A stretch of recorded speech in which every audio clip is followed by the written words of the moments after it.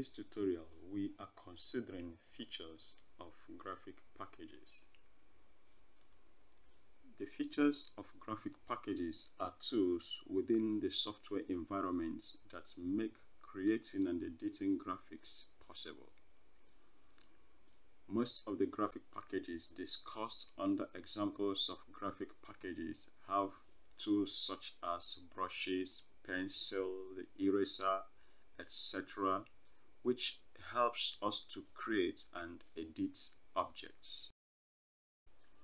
In this tutorial, we shall discuss the features of two popularly used graphic packages. There is, we'll talk about the Microsoft Paint, which represents a raster or painting application, and CorelDRAW, which represents a vector application. Microsoft Paint. Microsoft Paint is a simple painting graphics application that comes with all versions of the Windows operating system. It can be used to scan images and also create and modify objects. It can open and save files in the following formats the JPEG or JPG the GIF, PNG, TIFF, and bitmap formats. Let us look at the features of Microsoft's environment.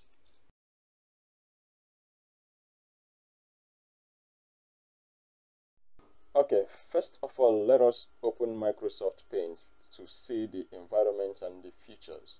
We go to the Starts and you select paint from the start menu. I am working with Microsoft Windows 11 and here you notice there are features and tools that you will use to create um, graphics in paint. Look at the tools here look at the shapes the size the foreground color the background color and the color palette.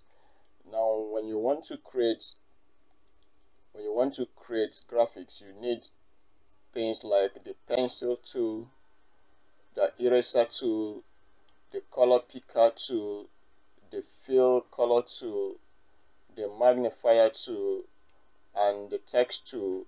Then here are brushes you use to create paint, to paint some things. You can select any of the brushes here. If you point at this one, you tell you this one is a natural pencil. This one is the airbrush and so on and so forth. Then when you look at the shapes, you notice there are different kinds of shapes here. You have the line, the curve, the oval, the rectangle, and so on and so forth. Whichever one you point at, it will show you the name of that particular shape. Then here we have the size tool. The size tool helps you to create different kinds of line width or the width of the tool you selected. For example, if I select the eraser tool, I would choose the size to determine the width of the eraser as I am going to use it on the graphic. Then here we have the foreground color, we have the background color, then these are the color palettes. If you select the foreground color, you can choose a color from the palette. If you choose the background color, you can choose a color from the palette and these are the features that will help you to create graphics here using paint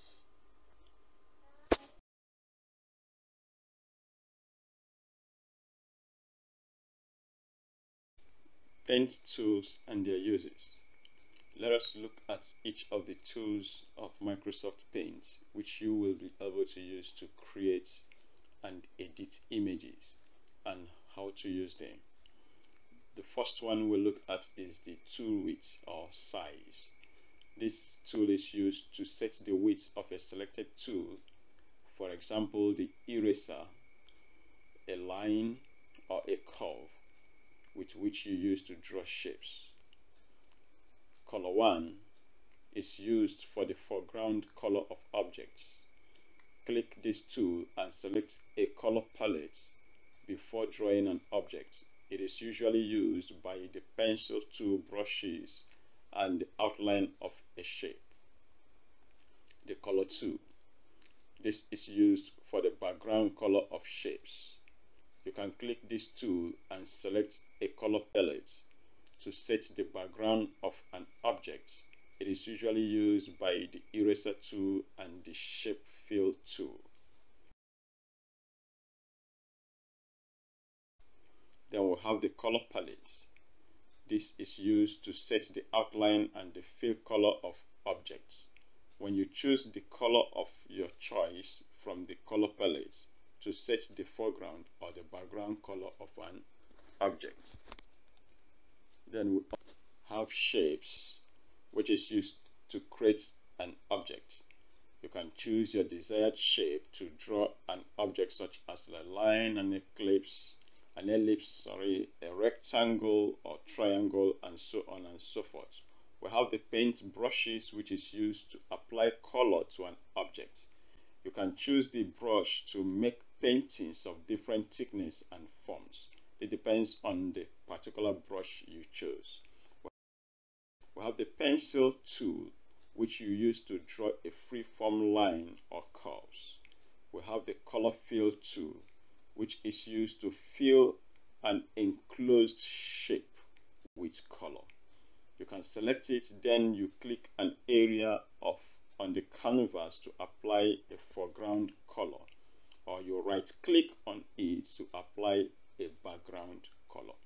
We have the text tool which you use to add text to your object or create text within the workspace. We also have the eraser tool which is used to clean areas of your drawing or a picture. When you select the eraser tool, you can choose the eraser width by selecting the size. Then you can clean an area of the object. One thing with the eraser tool is that the background color you chose, when you clean up an area of your diagram or a picture, the background color will be shown on that picture we have the color picker tool. This color picker tool is usually used to copy a color from an image or a picture that exists within your diagram or in your workspace. Then you can use that color and apply to another color. When the color picker tool is used, it can add color to the foreground or the background color, which you now use to apply to the current image. Then finally we have the magnifier. The magnifier is used to enlarge part of an object on the workspace.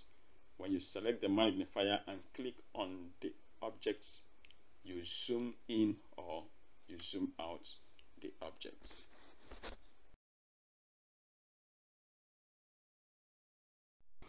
We shall illustrate how to create objects in Microsoft Paint We'll be creating objects like the line, curve, rectangle, square, ellipse, circle, text, and painting.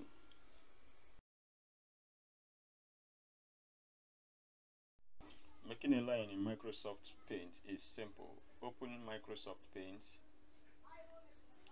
use the pencil tool, select the size of the width of the line and select a color then click and drag your line will not be that straight because you are using the pencil tool depending on how you keep your hand. Now to make a straight line use the line tool from the shapes. Select choose the size of the line the width of the line then select a color then click and drag. Ensure that the line is straight then you release your hand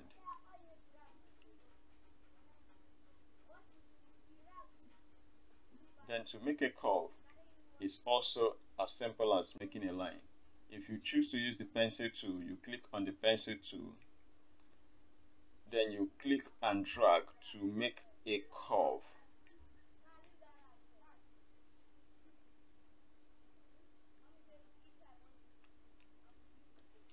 You can also use the curve tool from the shapes. Like I selected, you can change the width and the color of the curve. then here when you click and drag you drag a straight line depending on the length on the size the diameter of the curve. Then when you release the line you now click outside the line two times. Then the curve is made. Now you can actually make a curve of different shapes like here I'm going to make this curve to come up here. So that's how to make a curve. It's very simple as simple as that.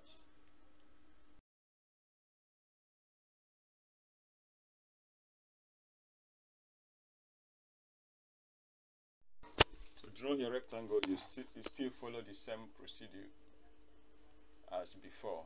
Select the rectangle tool click and drag to make a rectangle of your choice sorry. Select the rectangle tool click and drag to make the rectangle of your choice. Now the fill color of the rectangle will be the background color which is the color in color 2 I will have to select it and you go to the fill tool and make it solid. Now each time I draw a rectangle like I, I want a red color um, this color here. When I drag the rectangle it will follow the fill color. Now to draw a square you have to hold down the shift key while you drag the rectangle tool it's the same rectangle tool but the difference is that you hold down the shift key while dragging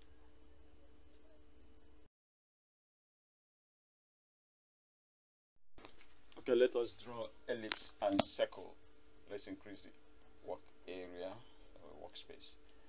Um, here when you select the circle tool let's um, set the background color to lemon then you can click and drag and that's the ellipse.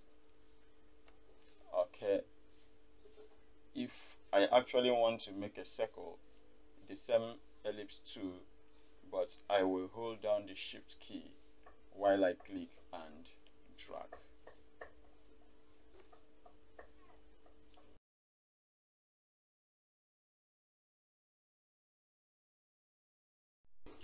Let us make a painting and um, add text to it.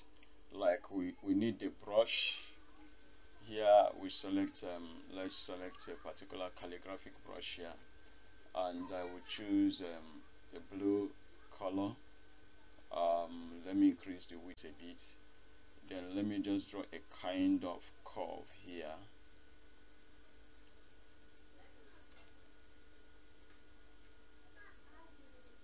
I'm trying to create something. Let's use the crayon to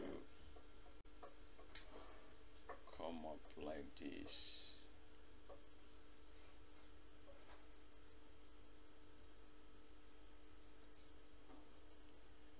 okay you can use any brush of your choice. I'm using a brush now to cover it. Let me use another color. Over around this here.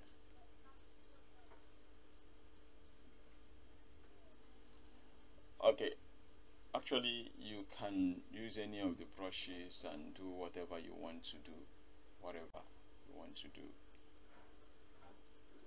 can even draw a human being adding some kind things that you feel like adding. You are actually trying to make painting. So you can use the paintbrush to paint anything of your choice. Now to add text you simply click on the text tool. When you select the text tool you click at the area where you want to add the text. Then the text box appear you can now add your text.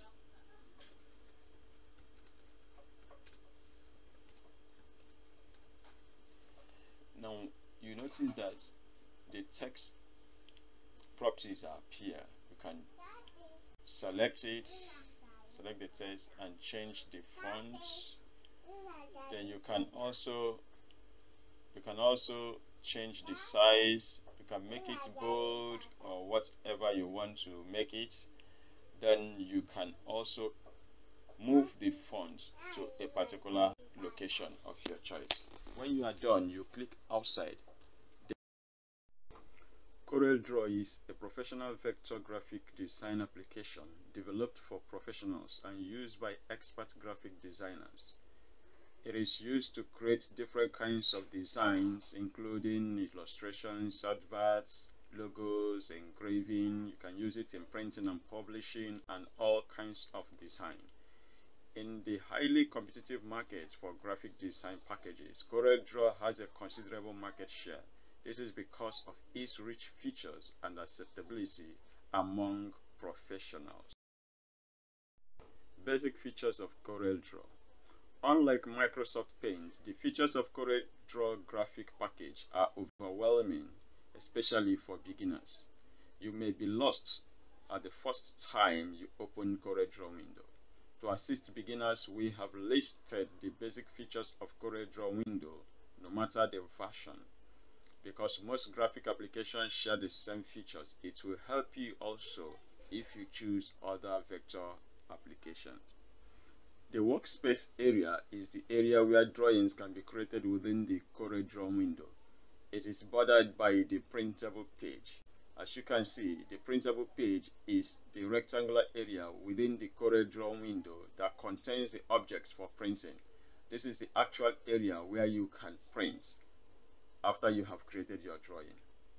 You can set up the page depending on what you want to print, like business card or letter-headed paper or banner, etc. The title bar. The title bar displays the title of the current open graphic window, usually the name used to save the graphic file. If the currently open graphic is not saved, it will display untitled 1 or 2 or 3 depending on what. The ruler is used to determine the size and position of an object in the CorelDRAW window. If the ruler is not showing, you can go to the View menu and select Rulers. The menu bar is an area that contains the list of menus with pulled down contents. These pulled down contents are commands used to accomplish tasks while creating drawings. Applications without menu bars have ribbons, such as Microsoft Word.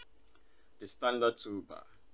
In CorelDRAW, the standard toolbar is a detachable, um, a detachable bar that contains commands for easy access. You can actually detach it and place it in any location of your choice while working with CorelDRAW. Property bar. The property bar is also a detachable toolbar which contains commands that is related to the currently selected object or tool. The toolbox. The toolbox is also a detachable bar that contains tools for selecting, modifying, and filling objects in the drawing window. While working with CorelDRAW, you will make use of the toolbox more often. The color palette. The color palette is a movable bar that contains color swatches, which you can use for filling colors and the lines of your objects. The object's properties. This property is used to apply effects on the selected objects. In conclusion, we discussed the features of graphic packages using Microsoft Paint and CorelDRAW. The features of CorelDRAW are observed to be more complex than that of Microsoft Paint. However, in both graphic packages, there are tools such as pencil, eraser, and other kinds of drawing tools which you can use to create your objects.